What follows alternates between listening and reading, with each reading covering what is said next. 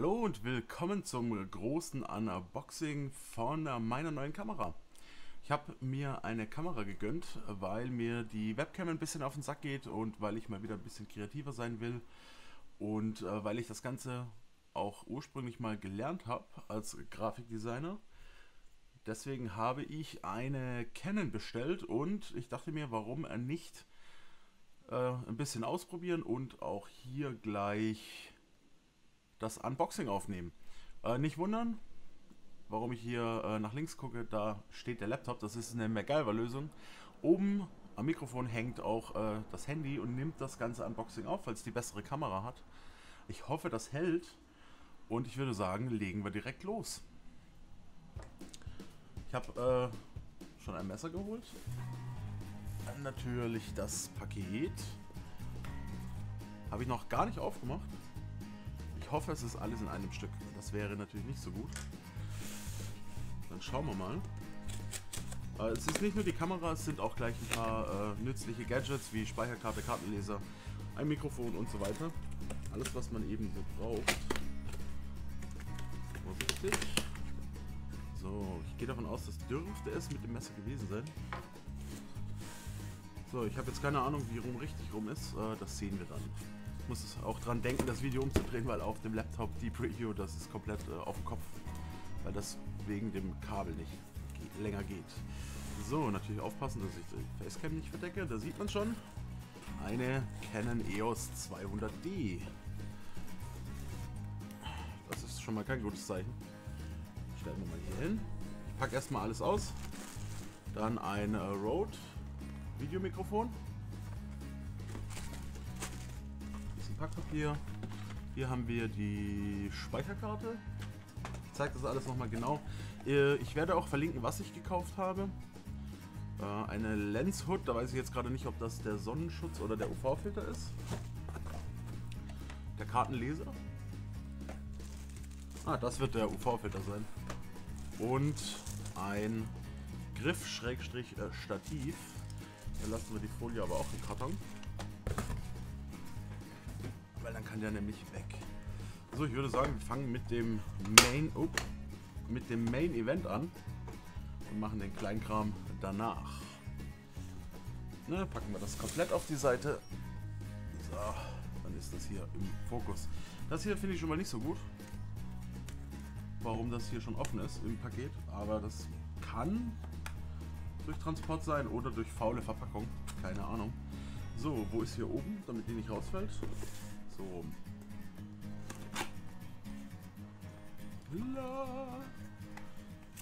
Das ist nur das Handbuch. Hier. Alles nur Handbuch. Mehr Handbücher. Alles weg. Brauchen wir erstmal alles nicht.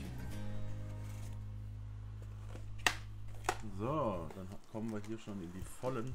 Das ist das Ladegerät für den Akku, auch nicht so wichtig. Der Umhängegurt. Das müsste die... Äh, nicht die Linse, sondern das Objektiv sein. Das hier die Kamera. Der Akku. Und ein Daten-Ladekabel. War das alles? Ja. Okay, dann fangen wir mit der Kamera an, natürlich. Die ist aber niedlich.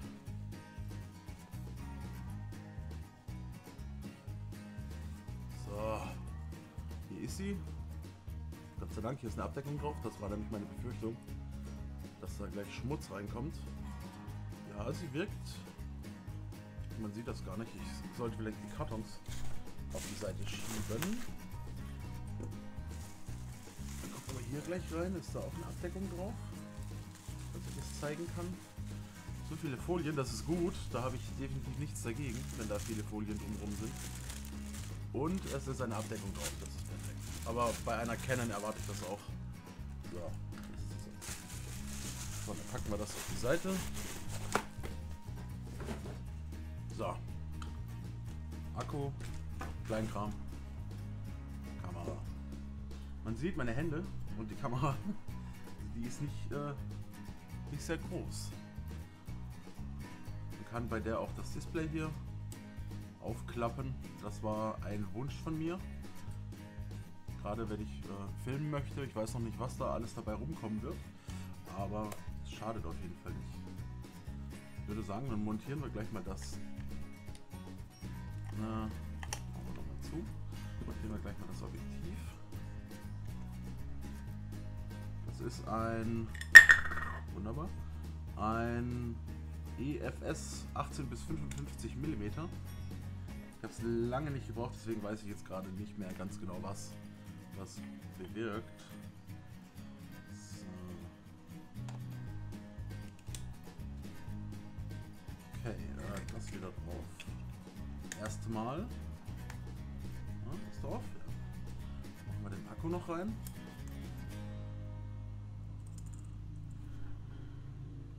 Nachdem wir ihn ausgepackt haben.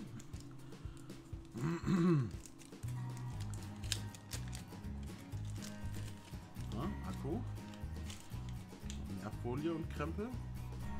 Wo muss er rein? So rum. Ich hoffe, da ist ein bisschen Saft drauf, weil dann kann ich gleich eine Testaufnahme machen. So rum, oder nicht? Ja. So, und dann schalten wir sie ein. Wo ist der Power-Button? Das soll der Auslöser sein. Vor allem sollte ich vielleicht ein Display ausklappen. Dann drehen wir ihn mal um. So. Man merkt, ich hatte lange keine Kamera in der Hand. Und natürlich ist es auch bei jeder Kamera anders. Aber wie...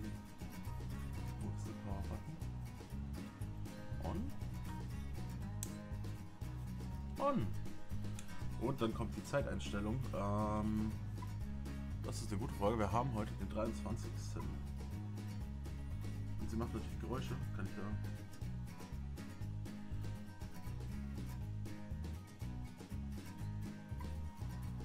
Na, das ist jetzt ein bisschen. Sehr gut. Oder muss ich da vielleicht. Ah, alles klar. Ich bin einfach nur doof. So, 23. Äh, 7. 19. Uhrzeit ist exakt 18 Uhr. Das ist ja der Wahnsinn.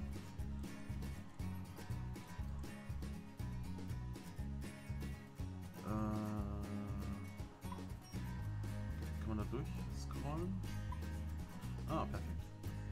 Berlin.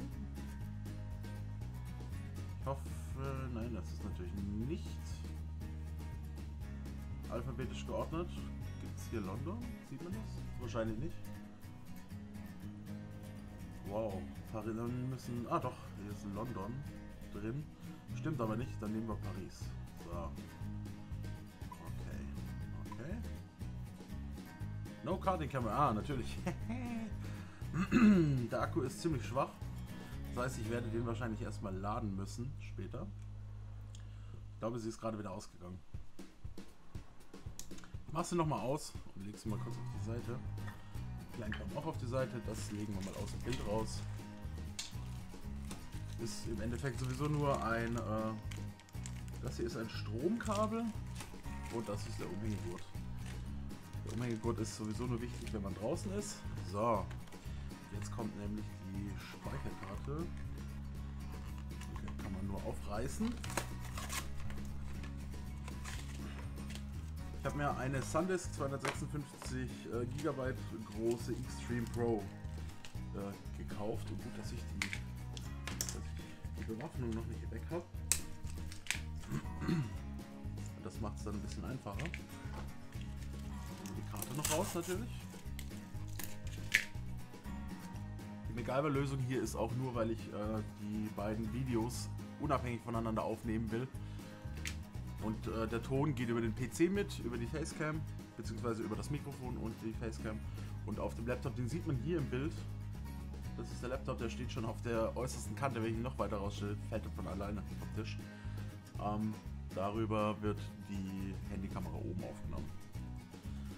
So, Kartenslot war, glaube ich, auf der Seite. Ne, da ist Mikrofon und andere Dinge. Die... Ah, die Karte ist immer noch unten. Okay, das hat sich also nicht geändert. Kommt neben den Akku. Hier rum. So. Angeblich. Gesperrt ist sie auch nicht. So. Okay, hat kurz rot geblinkt. Ist jetzt die Frage, ob er die Kartengröße unterstützt, das weiß ich nicht. So, dann gehen wir mal in den Videomodus.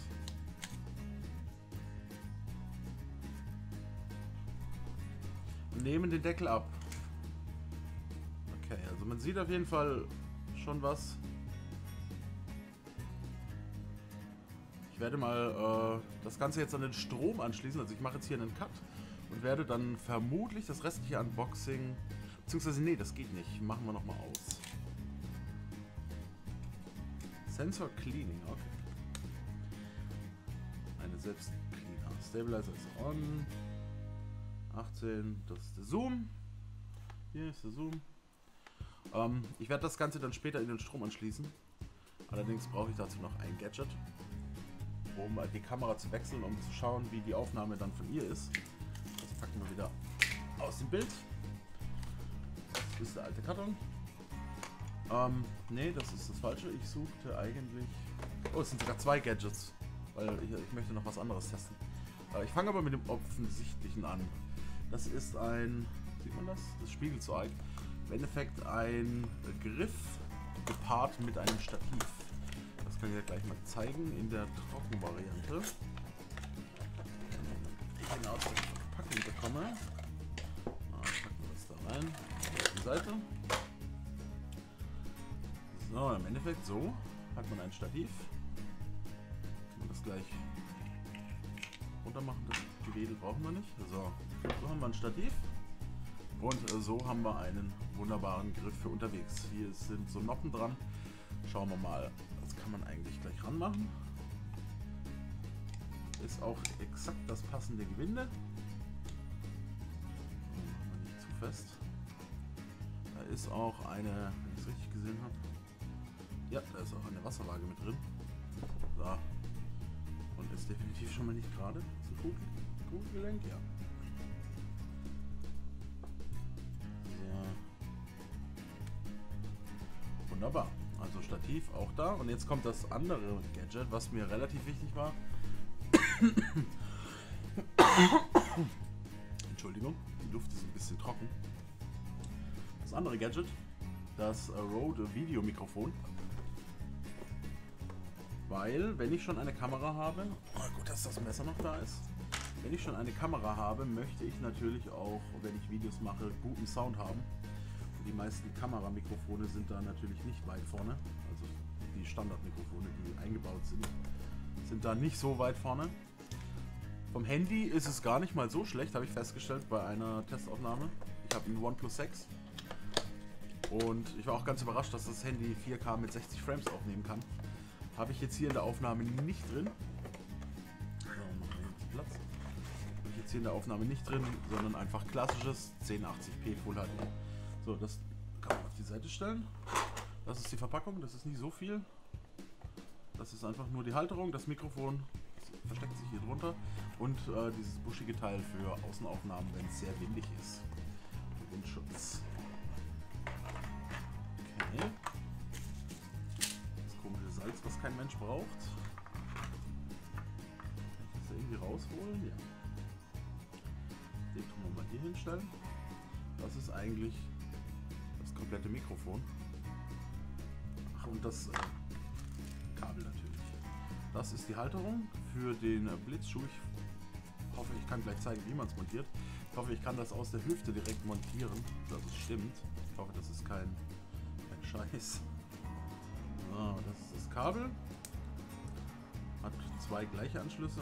Warum ist das locker? Das machen Halterung, die machen wir zuerst dran. Dafür brauchen wir die Kamera. So, wenn ich mich richtig erinnere, ist das ganz einfach. Wir schrauben das hier hoch, falls es zum Schrauben ist. Und dann wird das hier einfach reingeschoben und wieder zugeschraubt, damit es fest ist und nicht runterfällt für den Blitzschutz, wie ich sage. Dann das Mikro rein. Aber das frickelig. So. Hier seitlich ist ein Anschluss für Mike. Na.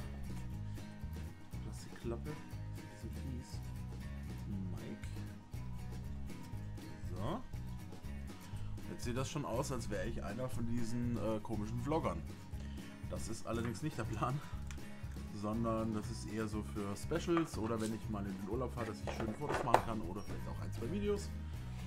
Und äh, auch vielleicht werde ich das Ganze auch äh, als Facecam benutzen. So, jetzt schauen wir hier mal. Okay. Ich würde jetzt mal... Okay, das Stativ ist natürlich jetzt ein bisschen niedrig. Und ich habe jetzt auch nicht wirklich Platz. Deswegen würde ich das auf die Speicherkarte aufnehmen. Und später dann mal reinschneiden, wenn es getaugt hat. Wenn es komplett scheiße war, werde ich es natürlich nicht benutzen. Allerdings muss ich hier dann erstmal einen Cut machen, um das Ganze anzuschließen, äh, damit die Kamera genug Saft hat. Bis gleich. So, wie sich rausgestellt hat, bin ich ein Trottel. wie so oft. Denn die Kamera hat hier keinen direkten Stromanschluss, sondern das ist das Stromkabel für das äh, Akkuladegerät. Habe ich mir hier das gerade schön vors Gesicht gehalten. Das heißt, ich kann da jetzt noch gar keine Aufnahme machen, wie ich wollte. Und ganz kurz kontrollieren. Okay, ein USB-Kabel ist nicht dabei im Lieferumfang. Und ein äh, kleines HDMI-Kabel auch nicht. Das ist aber jetzt nicht so tragisch, denke ich. Zumindest nicht für die Aufnahme. Das sind aber dann Dinge, die ich mir noch besorgen sollte. Okay, dann haben wir hier. Machen wir einfach mal weiter. Weil bringt ja nichts, jetzt zu warten, bis der Akku voll ist. So, hier ist noch eine Tüte. Mal auf die Seite. Jetzt haben wir hier noch den Kartenleser, den Sonnenschutz und einen UV-Filter übrig, wenn ich das richtig sehe. Ja. Kartenleser ist, glaube ich, äh, brauchen wir nochmal das Messer. Aber ich glaube, der Kartenleser ist relativ uninteressant. Das ist einfach nur ein handlicher SD-Kartenleser. Mir ging es nämlich darum, gerade wenn ich unterwegs bin, irgendwann mal, ich bin ja normalerweise eher so ein Stubenhocker gewesen, aber ich möchte auch mal wieder rauskommen, deswegen auch Kamera. Da habe ich Wert drauf gelegt, dass er einfach nur klein ist, handlich. Den werde ich dann äh, später natürlich auch gleich testen können und er hat USB-C. Das heißt, da muss ich immer den Laptop benutzen oder mir einen Adapter holen, denn am PC habe ich kein USB-C. Da ist äh, das Mainboard zu alt. Aber das ist nicht so schlimm. Ich habe ja den Laptop. Und es gibt ja auch Adapter. So. Nächster Punkt. Ich lege das Zeug jetzt einfach mal hier so random durch die Gegend. Dann haben wir hier, das würde ich sagen, ist der Sonnenschutz. Beziehungsweise das ist einfach nur hier. Oh, das wirkt ein bisschen groß. Es könnte... Ja. Das ist der falsche. Sehr gut. Nicht schlimm. Er passt nicht. Er ist zu groß. Das ist jetzt aber nicht schlimm, denn ich werde die äh, Kamera natürlich behalten und werde wahrscheinlich auch weitere Objektive mir irgendwann mal kaufen und irgendwo wird er dann schon drauf passen. Das war jetzt auch keiner der teuren Artikel. So, und das hier, das sieht erstmal aus wie ein schwarzer Ring. Das ist ein UV-Filter. Da ist jetzt die Frage. Ich würde den ungern ja, so mit den Händen. Das ist ein Glas. Da sieht man dann meine LED-Panel. Das ist ein Glas. Und damit kann man dann wohl äh, UV-Strahlen rausfiltern. Das brauche ich jetzt hier für den Innenraum nicht, deswegen mache ich das jetzt gleich wieder zu, damit das nicht so einstaubt und dreckig wird, weil man kennt das ja vom Flugschmutz. Ähm, das ist dann eher interessant für Außenaufnahmen, werde ich natürlich auch mal probieren. Da jetzt aber 18 Uhr ist, ist jetzt äh, die Sonne schon relativ weit weg und ich muss auch noch zur Arbeit heute bin ja einer der arbeitenden Gesellschaft. Äh, deswegen werde ich dazu heute nicht kommen. Ähm, ja. Habe ich was vergessen? Ich kontrolliere gerade noch mal. Das war der Kartenleser. Kann man also hier reintun. Ich sammle jetzt erstmal wieder alles hier. So, Kartenleser, Mikrofon, Griff, Karte, Kamera. Ne, da haben wir alles. Das ist sehr gut damit sage ich danke fürs Zuschauen. Ich hoffe, ich, äh, beziehungsweise nein, sage ich nicht. Hoffentlich. Wenn alles funktioniert hat, dann äh, mache ich noch eine Handheld-Aufnahme mit der Kamera. und äh, verabschiede mich dann da. Ansonsten sage ich hier schon mal Danke fürs Zuschauen. Wenn es euch gefallen hat, lasst mir ein Like da, gerne auch ein Abo und freut euch hoffentlich auf viele coole weitere Projekte, die nicht unbedingt nur mit äh, Gaming zu tun haben. Und nein, es wird äh, kein äh, Vlog, zumindest ist das nicht der Plan und schon gar nicht regelmäßig, weil das ist nicht mein Stil. Okay, bis hierhin sage ich schon mal macht's gut. Ansonsten sehen wir uns gleich nochmal in äh, wunderbarer Qualität und nicht in dieser körnigen Webcam-Qualität. Und da bin ich wieder, jetzt in der Handheld-Variante, um äh, das ganze MacGyver-Setup zu zeigen, wie ich das ganze Unboxing aufgenommen habe und äh, vor allem auch um zu sehen, wie die Kamera so ist. Gehen wir mal ein bisschen näher ran. Und äh, ja, also man hört es wahrscheinlich schon äh, richtig krass. Das ist der Laptop neben mir. Wobei bei dem Mikro nicht, das dürfte ein Richtmikrofon sein. Äh, beim anderen Mikrofon oben drüber kann es sein, dass man es gehört hat. So, schauen wir mal. Hier ist dann der Laptop. Direkt auf der Tischkante. Ich versuche das mal zu zeigen.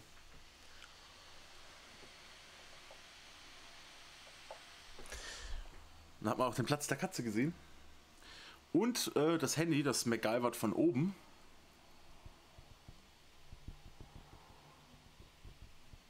Mit einem Mikrofonhalter. Ähm, deswegen, ich bin ganz froh, dass das jetzt funktioniert hat, dass es nicht runtergefallen ist. Das glüht jetzt wahrscheinlich schon, weil ich habe vorhin gesehen, das glüht immer ziemlich. Äh, so, ich stelle das mal gerade hier ab. Ich versuche das mal mit dem Stativ. Müssen wir jetzt erstmal einstellen, damit man mich natürlich auch sieht. Und ich muss das nicht die ganze Zeit festhalten. Ja, das war's mit dem Unboxing. Ich muss mir noch abgewöhnen, immer auf den Monitor zu schauen. Das ist so, hm, Kontrollmonitor. Ja, somit hat es funktioniert. Der Akku hat ein bisschen Saft bekommen.